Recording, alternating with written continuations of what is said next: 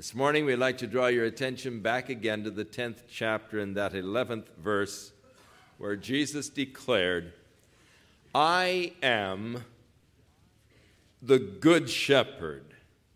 The good shepherd gives his life for the sheep.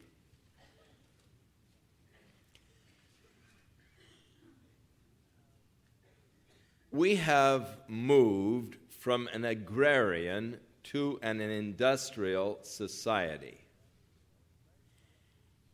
And unless you understand that move, you cannot understand all of the social implications of that move. Jesus was talking to people who were basically living in an agrarian society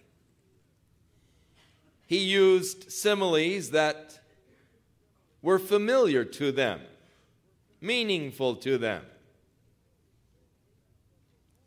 When David said, The Lord is my shepherd, I shall not want, and he relates his feelings towards God as a shepherd watching over the sheep.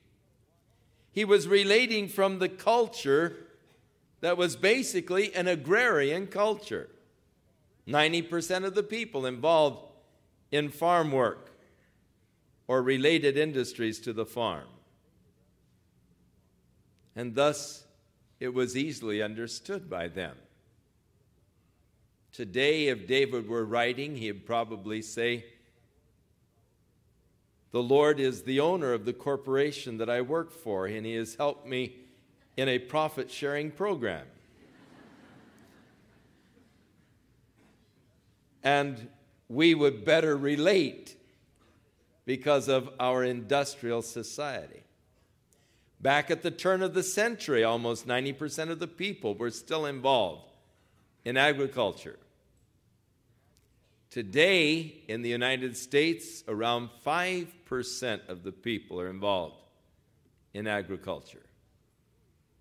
So that having moved from the agrarian society it has tremendous sociological implications. For instance, in an agrarian society, every child that is born represents an asset.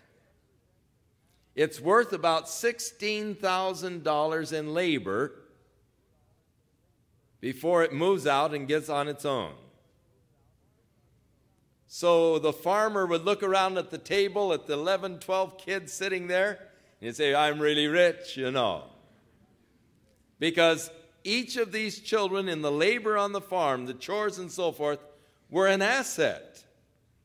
They were worth money. But living in this industrial society, Every child that is born represents a liability of almost $65,000 until he gets through high school. So people look at the birth of a child in a very different way.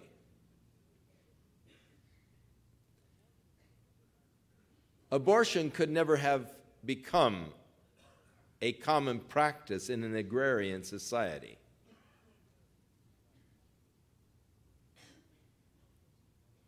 It's only because of our industrial society that such a horrible thing is tolerated.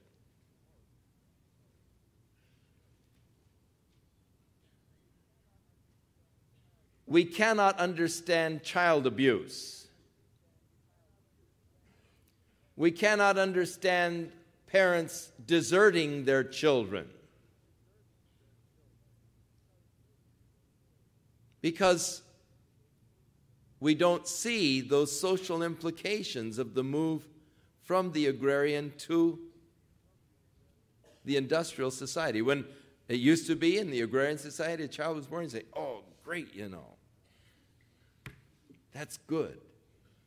Worth $16,000 to me by the time I get it through high school. Today, the child is born and think, wow, who needs it? You know, 65,000 bucks out the window by the time I can get him through high school. And so subconsciously, there's an attitude.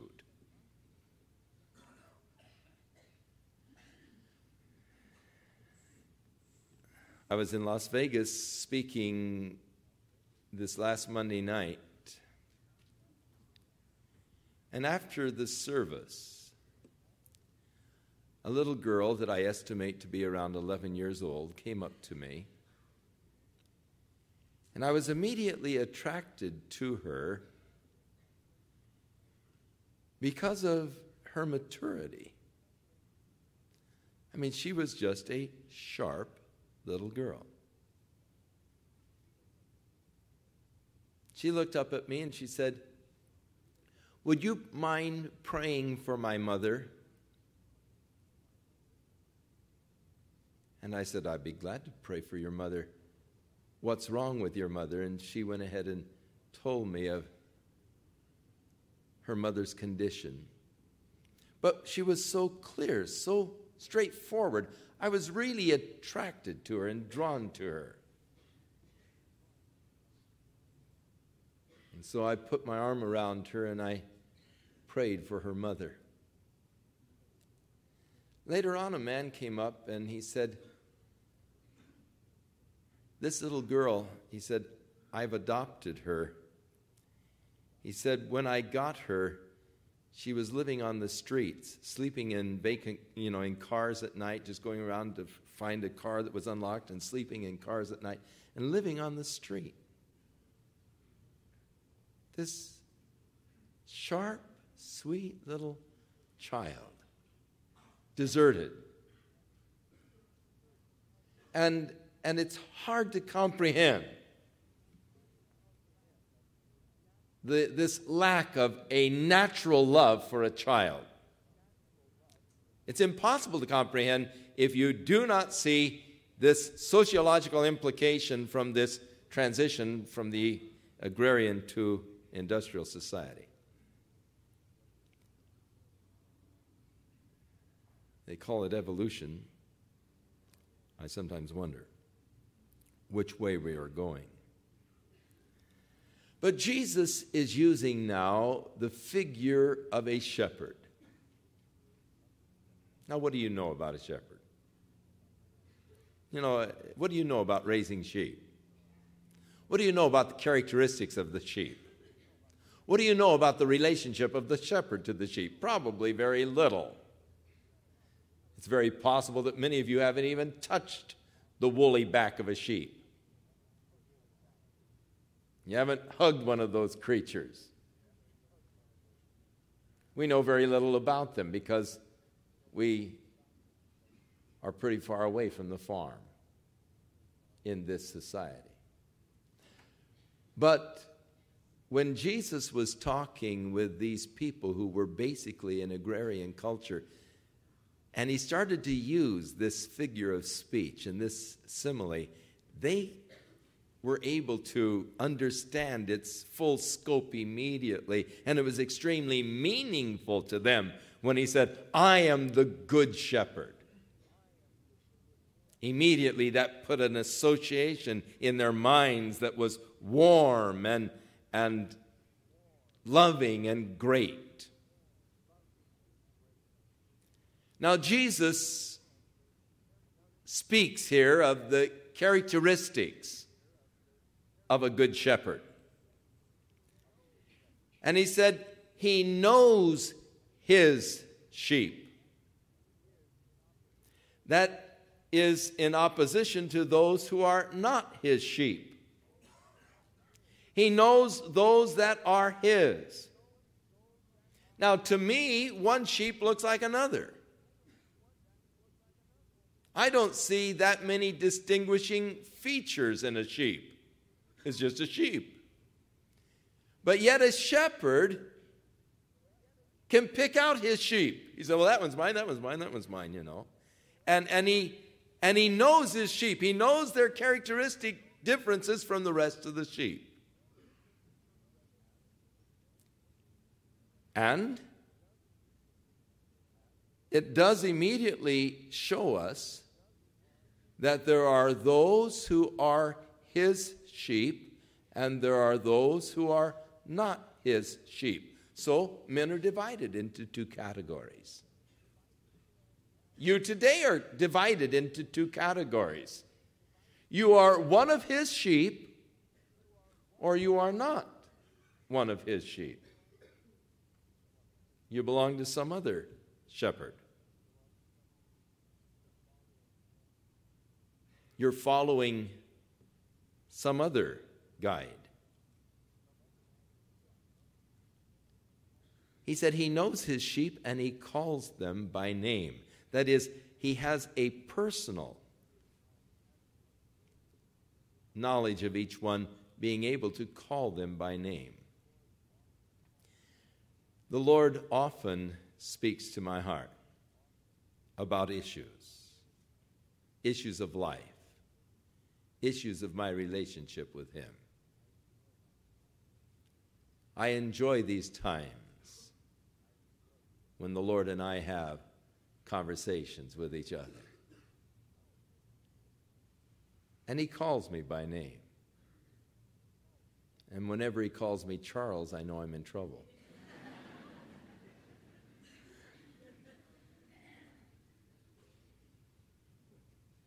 he knows his sheep. He calls them by name. And then we read that he leads his sheep to pasture. Now, the shepherd is concerned, and his primary concern is the well being of his sheep. And thus he is seeking to lead them in the finest pasture available.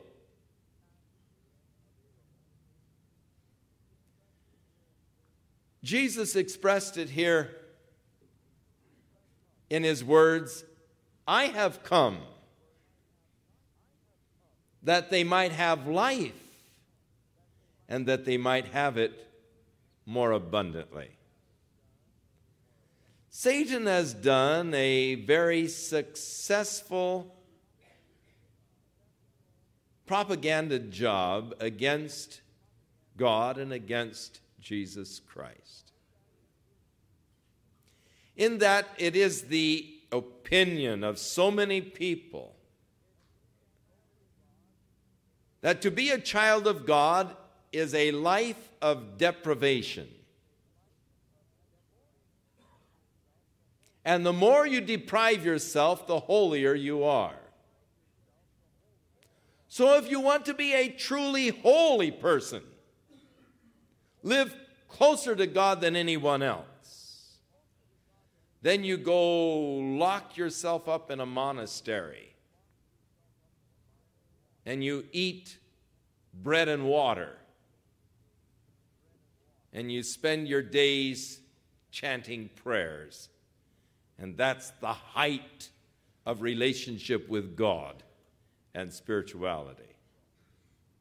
Not so the Lord met the people in the marketplace. He moved among the people, and he especially enjoyed the parties. He came, he said, that we might have life, and that more abundantly. I have found that he has not taken away from me, but has added to my life immeasurably. We think of God depriving us of this and depriving us of that, but I have found that God has only added to my life infinite dimensions that I never knew before. How I thank God for that more abundant life that I have as my shepherd leads me into pasture and provides so well for me. Now, the Good Shepherd not only leads them into pasture, but he is committed to their protection. You see, the shepherd realizes that a sheep is a defenseless animal. it cannot run fast enough to elude the predators, nor is it able to fight off the predators. And so the sheep are dependent upon the shepherd for their defense. Therefore, the shepherd at times will even jeopardize his own life in order to protect his sheep. You remember when David was trying to sell Saul on the job that he was able to go out and kill the giant. He said, Look, I've been following my dad's sheep, and one day a lion grabbed one of the sheep and was dragging it away. And he said, I grabbed hold of that lion and I killed it. Another time, a bear grabbed one of the sheep and was dragging it off, and I killed the bear. Now, you must remember that David was only about 13, 14 years old. Yet, with the heart of a shepherd, here's a lion that's attacking one of my sheep. He doesn't care for his own safety, his interest is in protecting the sheep. And he's willing to hazard his own life Take on the lion, take on the bear, because they're a threat to my sheep. Now, the Lord knows that I can't run away from the enemy. The Lord knows that I'm no match for him. I don't have any defense. I don't have any strength or power within myself. I have to depend upon the Lord, my shepherd, for my defense. And I'm so thankful that He's the good shepherd and He does defend me. When Satan would rip me off, He's there. He's standing there and defending me. Now, Jesus said, in contrast, the hireling he doesn't really care for the sheep because he's just a hireling. And when the wolf comes, the hireling will flee, he'll run. His concern isn't for the sheep, his concern is for himself.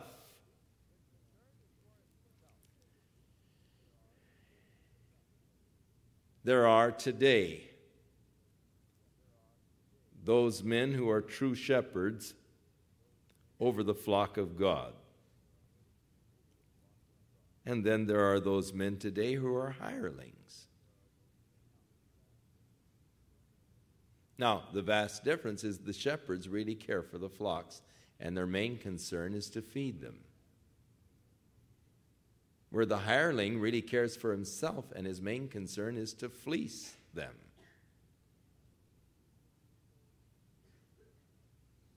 So it's easy to tell a hireling from a shepherd.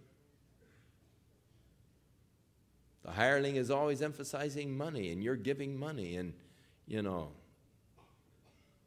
all of this pressure for money bit because he cares not for the flock but for himself.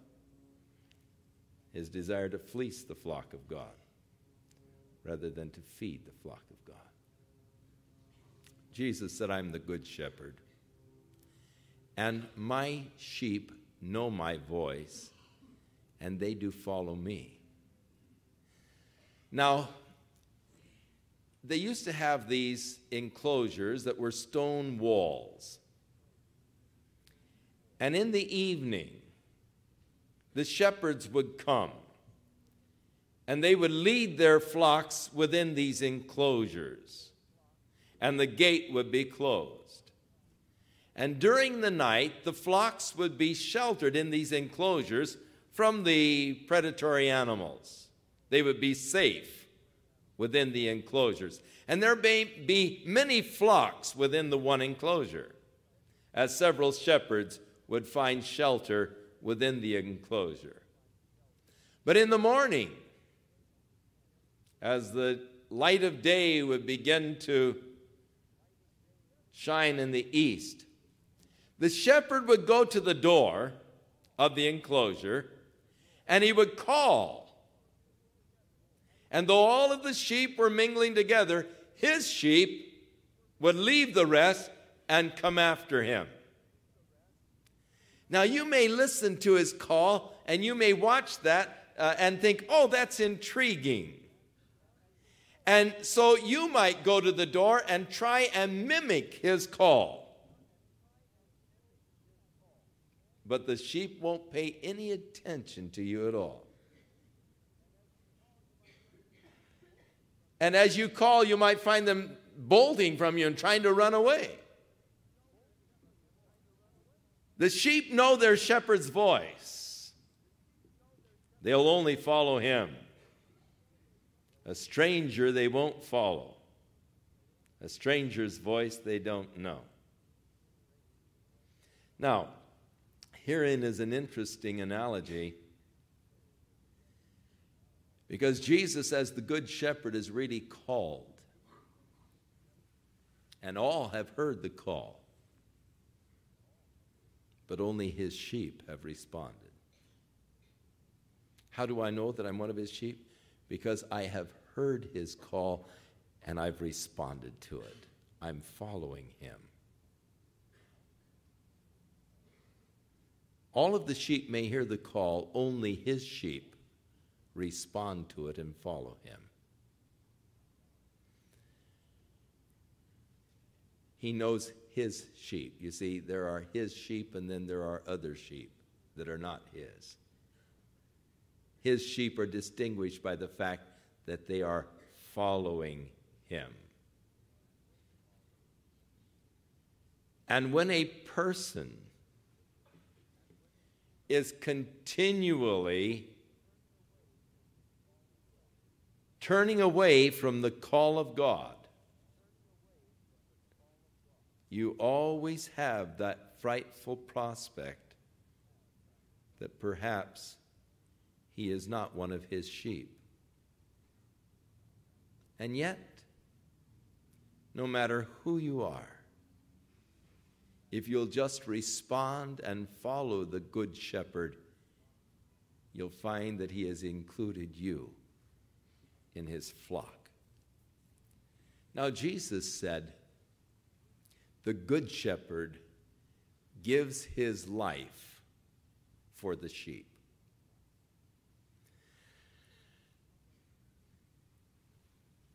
How much does Jesus love you? He loves you so much that he was willing to give his life for you. Now, this week, people are going to be looking at the cross once again as we come to Good Friday. Now, for some people, Good Friday is going to be just a real inconvenience. They get to the bank and it's closed. How inconsiderate. I always cash my paycheck on my lunch hour on Friday and the bank is closed. What am I going to do? And so Good Friday is going to be a real inconvenience. And they're going to curse the bank for being closed because they wanted to cash their check. They're going to be angry. And that will be their response. To others, going to get the afternoon off. That means we can head out earlier for the desert with our dirt bikes and hang gliders. We get an early start. Going to be a longer weekend. Ought to be great. Good Friday, that's neat. I get an extra afternoon off.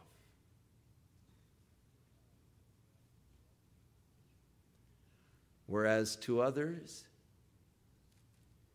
it's going to be a day of serious contemplation as once again they remember the love of the Good Shepherd who loved them so much that he was willing to give his life for his sheep. And it's going to be a day of thanksgiving a day of fellowship with God, a day of expression of gratitude for that Good Shepherd. It's interesting to me how people look at the cross and their response and reaction to the cross of Jesus Christ. As some people look at the cross, all they see is the horrible cruelty of man. And surely it is demonstrated there. I cannot understand the terrible inhumanity of man to man. I have difficulty with this. How someone can torture another person, how someone can abuse a child, how someone can deliberately hurt someone else. To watch someone suffer without feeling. I cannot understand this. I, I don't know what kind of a mind, what kind of an awareness or consciousness a person has who can do these things. I just don't understand it. It's, it's something that I've tried to understand, but I have no understanding. And because I have no understanding, I have no sympathy for a person who does those things.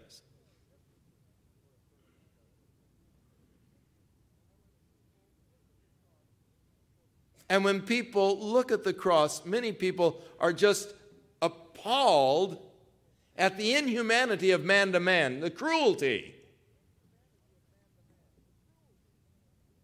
of man, capable of inflicting upon a fellow human being such suffering.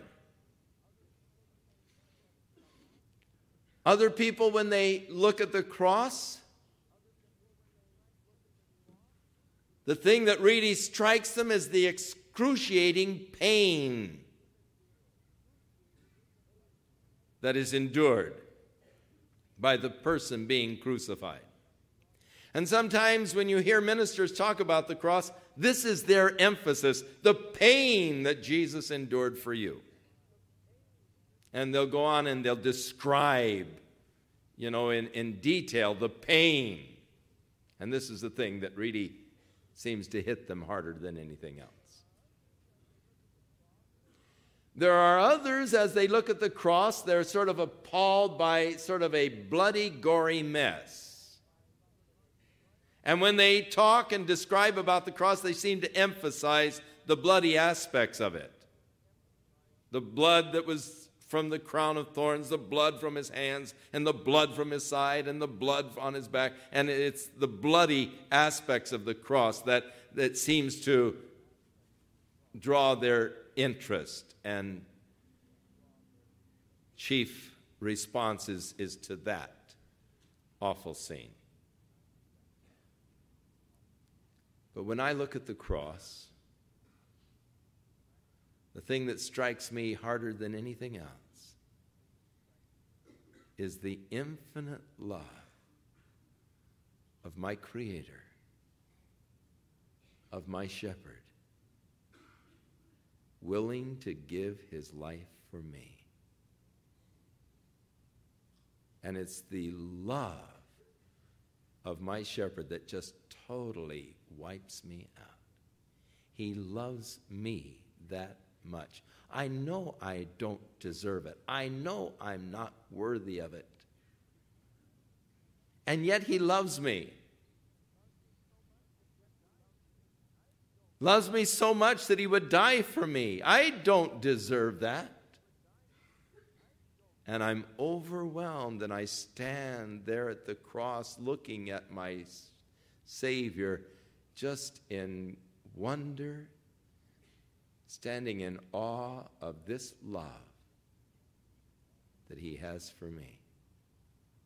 He said, I am the good shepherd, and the good shepherd gives his life for his sheep. Now, Jesus was here actually prophesying his crucifixion, which would be taking place some six months later. This was during the Feast of Tabernacles, and about six months later, he was crucified during the Feast of the Passover. And so he's talking about his impending death. But when he talked about it, he said, I have the power to lay my life down, and I have the power to take it again. He said, No man takes my life from me, I give my life. And so as I look at the cross, I realize that he is giving himself, willingly giving himself for me. What is your response to the cross? You see it as another powerful argument against capital punishment because innocent men are sometimes the victims? Or do you see it as a shocking miscarriage of justice? Or do you see your shepherd laying down his life for you because he loves you so much?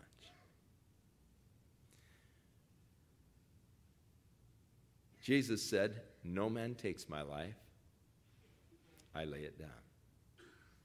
When we come to the cross, six months later, and we see him there, we hear him as he cries, It is finished. Father, into your hands I commend my spirit. And then it said significantly, and he dismissed his spirit. Having said, Father, into your hands I commend my spirit, he turned to his own spirit and said, You may go now. And he dismissed his spirit. No man took his life, he gave his life. So that when the soldiers came around to break the legs, they marveled that Jesus was already dead and did not break his legs. They didn't have a chance to take his life. He gave his life. But he said, I have the power to lay my life down, and I have the power to take it up again. And the third day, when they came to that tomb, they found the stone rolled away and the tomb was empty. And the angel said, Why seek ye the living among the dead? He is not here. He is risen just as he told you. I have the power to take it up again. And he took it up again and lives today. That he might be your shepherd, leading you into green pastures and leading you into his kingdom. I'm so glad. I'll tell you, I'm so glad. I know the love of Jesus Christ. I've heard his voice and I'm following him, and I wouldn't want it any other way. And thus I can say with David, The Lord is my shepherd, I shall not want. For he makes me to lie down in green pastures, and he leads me beside the still waters, and he restores my soul, and he leads me in the path of righteousness for his name's sake. And even though one day I'll walk through the valley of the shadow of death, even there I will fear no evil because he's with me. His rod and his staff, they're a comfort to me. He prepares his table before me in the presence of mine enemies. He anoints my head with oil, and my cup runs over. Isn't that what he said? I've come that you might have life and that more abundantly. What is the abundant life that he has? It's the overflowing cup.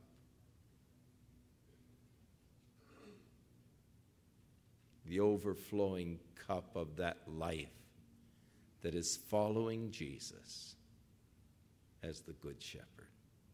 Shall we pray? Father, thank you today for Jesus Christ, our shepherd. Thank you, Lord, for calling us calling us by name, including us, Lord, in your plan. How grateful we are, Lord.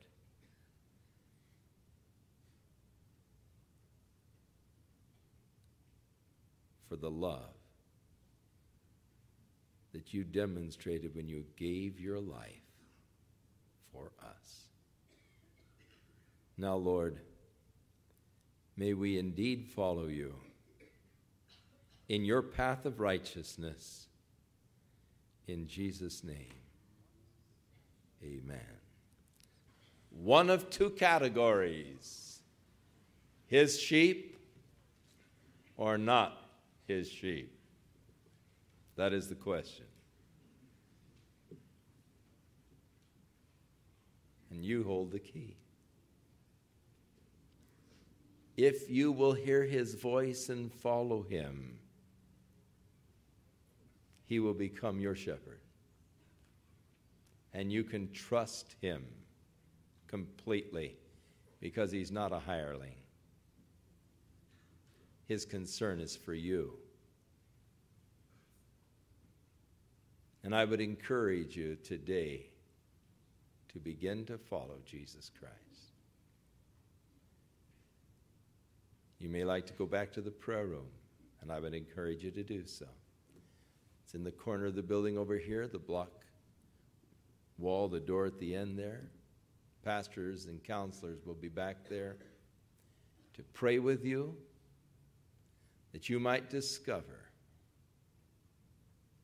the blessing of that more abundant life when Jesus is in control. Now, may this week be a very special week for you as we once again remember how much God does love us as we look at the cross. May this be a week really devoted to relationship with God, a deepening of that relationship as we experience the work of His Spirit in our hearts as God reveals His love. May it be a week of rejoicing as we look at the resurrection and realize that the hope that we have is not in vain, but it is a living hope because he rose from the dead. And may we live in that life of the Spirit, that newness of life through him. God bless you this week. Make it a rich, beautiful week, walking in the Spirit. In Jesus' name.